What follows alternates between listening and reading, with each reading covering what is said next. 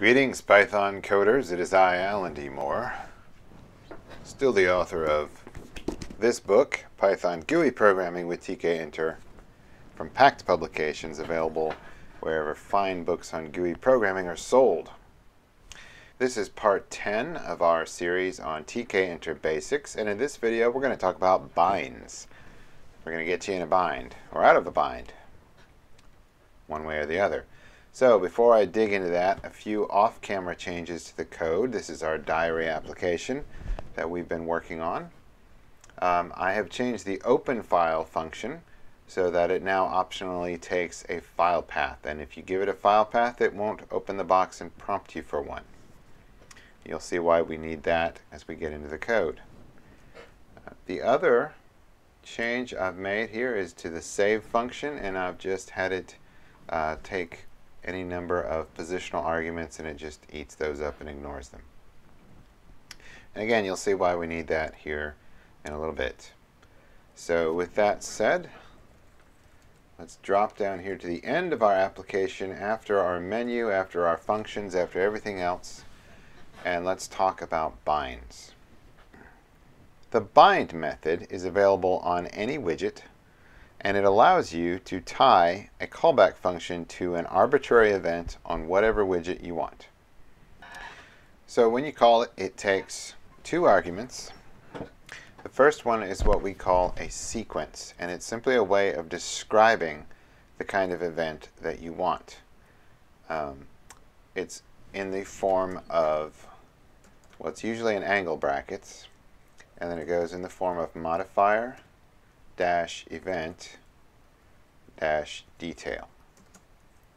Okay, so modifiers would be, it's an optional thing, and it would be something like a shift key, control key, alt, uh, double for clicks, things like that. The event type would be one of about 20 different types that are built in, and that covers different kinds of mouse clicks, pressing, releasing, uh, mouse movements, entering into a widget with the mouse, leaving a widget with the mouse, keyboard keys, you know, key press, key release, um, window resizing, widget mapping, so like when a widget is put on the screen, uh, when an input gets focus or when it loses focus or things like that. All right, so there's, there's about 20 different kinds of events there. And finally, the detail portion um, just kind of narrows it down as to which one it is. So for example, with a mouse button event, the detail would be which mouse button, 1, 2, 3, 4, 11, whatever. Um, on a keyboard event, that would be which key did you press. So that's the first argument. That's called a sequence. And if that's confusing, don't worry, we'll, we'll look at it here in just a second. You'll see it. So the second argument you send to bind is a callback. Your callback function has to be able to take an argument, and that argument is going to be an event object. We won't always use that event object for anything, but it does contain some useful information, or at least useful in some circumstances. Uh, things like the widget that generated the event, um, the character if it's a keyboard event, um, the x and y coordinates if it's a mouse event, things like that. Um, so that's enough theory. Tell you what, let's actually bind some events. Right, the first thing I want to show you is just a basic keyboard event bind um, on a widget. So first I'm going to need to write a callback function. So I think what we'll do is, since this is kind of a journal or diary, I'm going to have a function that will insert a signature line whenever I hit a certain key. So let's go ahead and write that function. We'll call it, uh, let's call it insert signature. Okay, and again, like I said, it's going to have to take an event object as an argument. And we will just have it insert some text into our message input. And we'll insert it at the end, and I'll just have it hard code my name. We'll say Alan D. Moore, writer of texts. I have written many texts of various formats. All right, so how do we bind this function to a key? So let's start with the widget that we want to bind it on. So we're going to bind it to the message input. Now by binding it on this widget, that means that it's only going to happen when this widget has focus. All right? So bind angle brackets. Now it's modifier. So I'm going to say control. I want this to be control G for signature. You know, control S is usually save. Um, so we'll have it control. That's our modifier. Key is the event type. And then G is the detail. So control key G. That means when I hit control G on my keyboard, this event will fire. And we'll just give it the callback. Okay, I've got the terminal open here. Let's go ahead and run this.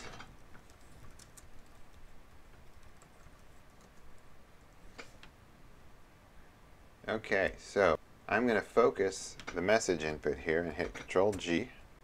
And you can see right there, it's got my signature in there. Now if I am in category and hit Control G, nothing happens. Same thing with subject. I have to be here inside my message input.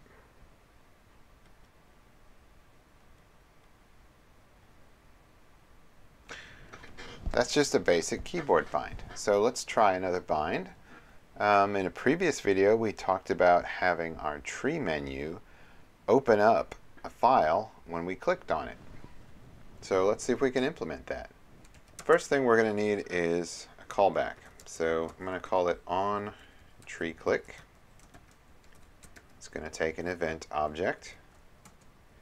Now let's get the selected tree item.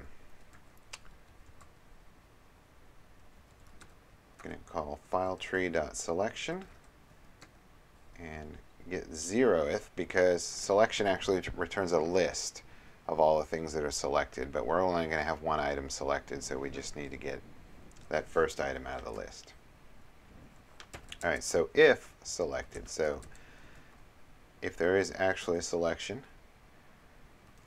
we're going to pass that to open file selected. Now remember, so you don't think some magic is happening here, remember that on our tree view, we set the IIDs to the file path. If you don't remember that, go back and rewatch the tree view episode of this series. And so when we call this selected, sorry, when we call selection, what we're getting back is a list of the IIDs that are selected. Conveniently for us, because of our design, that's the path. So selected here is going to be a file path to a file. And I'm going to pass that to open file. And then, just to finish this off, I'm going to switch us back over to the entry pane. So on our notebook widget, I'm going to call select 0. That way, when we open a file, we'll pop back over to the entry pane and view that. All right, so that's our callback. Now let's bind it. So I'm going to say on the file tree, bind, and I'm going to bind the double click. So that's double for our modifier. For mouse clicks, we use the term button. All right, just button, not mouse button, just button. So double button, and then the usual left mouse click is 1. That's button 1. If you want the right mouse button, that's usually button 3. I know that seems weird, but you know, mice used to have a middle button, and some of them still do. Um, so that would be 2. But it's button 1 is our usual left click. Don't forget to end it with the angle bracket and then give it our on tree click callback. Let's give that a shot.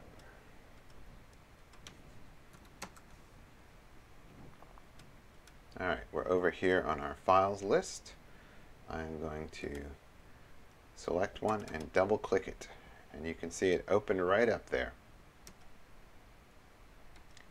So that's, that's one thing about the tree view is you can't really double click an item without it actually being selected. So that's why we're using selection to find out which one we double clicked. Now it would be nice if that event object would tell us which one was clicked on. We could work that out from the x and y coordinates of the click, but I think this works a little cleaner. Um,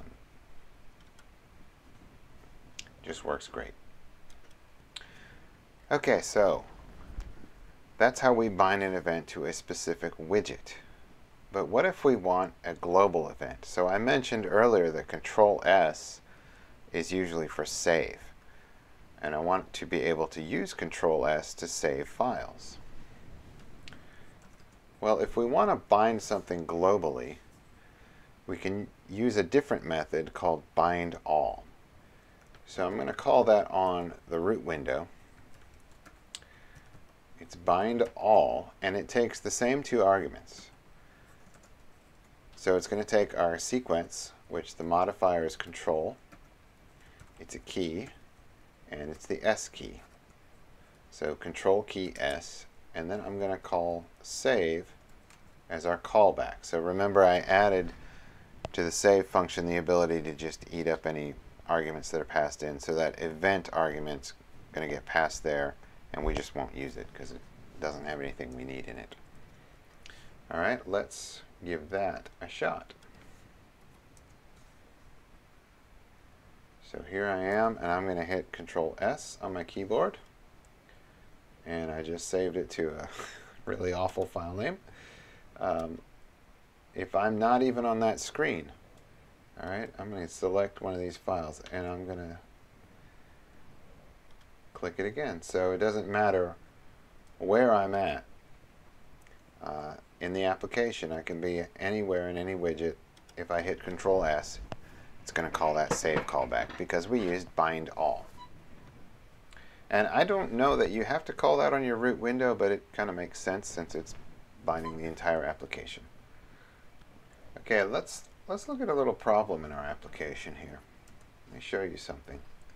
So when I open up work test 2, I get a warning down here that work test2.txt already exists. Well, of course it already exists. I just opened it. Um, the reason we're getting that warning is because way back in an earlier video, we implemented a, a trace on the variables for subject and category so that whenever they're changed, we would get a warning if that file already exists. Well, that doesn't work so well now that we're opening files. So what we really want to do is have that bind be on the widget so that when the user is entering those names, they'll get the warning. But when the program just inserts the data, you know, from opening a file, we won't get that warning. All right, so here we have our traces that call our check file name function. And I'm just going to comment out these two. I'm going to leave the private var because we have that in the menu and that just is going to get a little more complicated. I don't want to get into that tonight. Um, but I do want to show you how we can trigger uh, the callback function from these other two widgets. All right, so let's save that. And now let's go up to our widgets and Let's recall the variable name that we gave those widgets. Oh, that's right. We didn't give them variable names, right? We took that out because we didn't need a variable name.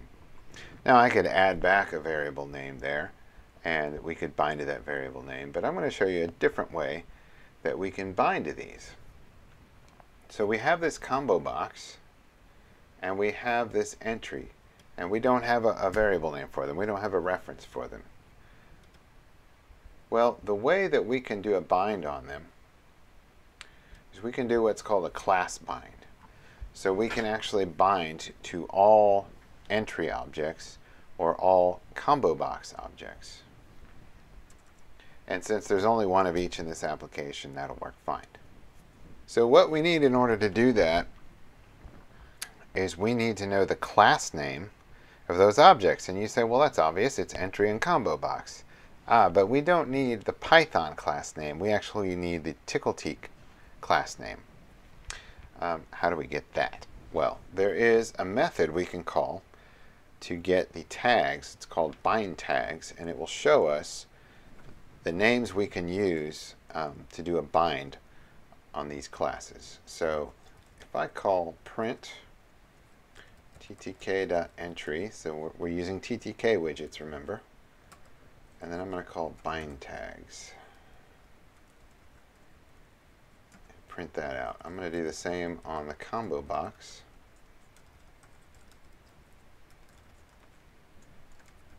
And then when I run this, this should tell us, close that. Over here in the terminal, you'll see we have some tuples with some different things in it. So we have the exclamation point entry, exclamation point combo box. We also have this capital T entry and capital T combo box. So each of these is a class name that will match this particular object. So obviously you see all that will match all objects. But we want these ones in the middle, the T entry and the T combo box. That's the ones we can use to do a class-based bind. And if you watch the styles video, you'll notice these are pretty much the class names we use in styles too. I don't think that's a coincidence. Alright, so how are we going to do this? We're going to call this on a root object, and we're going to say bind class, and we're going to give it that class name, so t entry, and then we're going to give it we're going to give it an event sequence. So I want to do this every time the user enters something on the keyboard. So the event that I want here is key release and that will trigger as soon as the user lets up off the key and that that means the entry will actually be changed at that point. I think that key might actually trigger when they push it down and the entry hasn't changed yet. It's a very subtle difference, but I want it after the entry has already been changed. All right, and then finally we're just going to give it that callback. Let's do the same for our T combo box. Key release. Check file name. Alright, let's run that. Okay, let's go ahead and test what happens. Now notice I loaded a file and I am not getting a warning. If I go up here and take out this 2 and then put it back, now you'll notice I get a warning. So um, that did the trick. So now it's only going to give me that warning if I'm typing in to those fields and actually entering data. Now I don't know if it'll work if I'm pasting into those fields, but that works for me.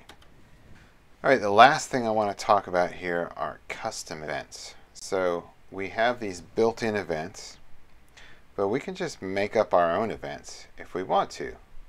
And we can fire them off at any point in our code and bind a callback functions to them. So this is something that may not seem to have any obvious initial use, but when we get into more complicated designs, uh, especially when we're trying to use classes and trying to use um, component design, this becomes a very powerful feature and a very useful thing. Uh, let me show you how it works. So um, let's look through our code here.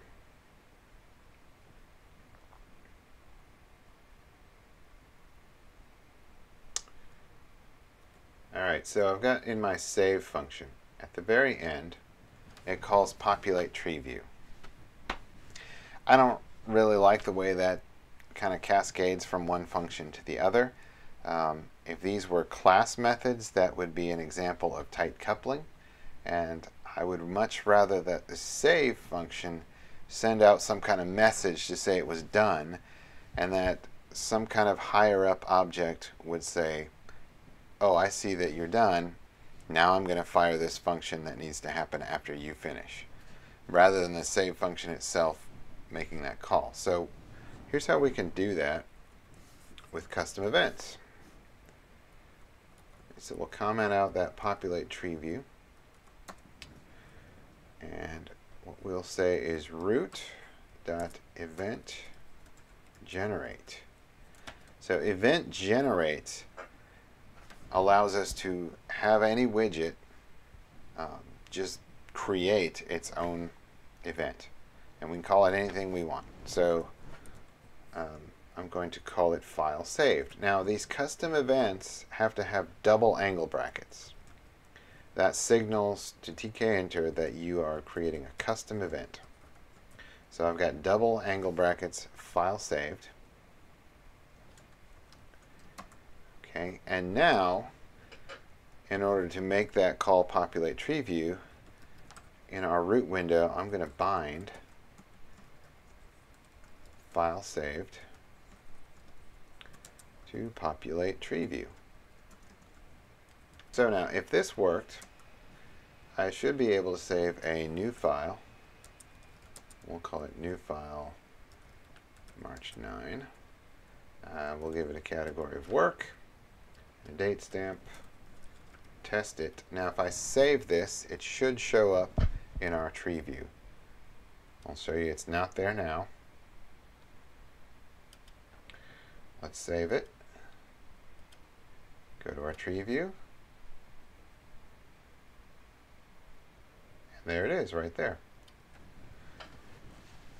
So as you can see, our custom event was received and it called populate tree view. Again, not something that you're going to use in a small script like this, but definitely when you go object oriented and you're writing larger applications, uh, this is super useful for a lot of things. Um, if you look at the IDLE source code, they actually use this to you know, allow for different keyboard mappings to different events, right? So they have all these um, custom events. Um, they're also sometimes called virtual events. And then when you change your keyboard mapping, it sends that to the same custom event. So that way they can bind everything to the custom event instead of you know the keyboard key, which could change. I don't know if that makes sense, but um, if that's confusing to you, set that aside for now. Um, it'll become important later. Trust me. All right, that's all I've got to say about binds tonight. Um, this is the end of the 10th video. I know this video came out a little late, and uh, I've got a lot of things going on right now. I need to kind of re-strategize and figure out the next set of content that I want to do. Uh, so it may be a little while before I get out another Tkinter video, but rest assured there are more coming. In the meantime, do feel free to ask any questions you want down in the comments. And uh, check out my book if you need some more detail and some more guidance. Till then, keep coding, have fun. God bless.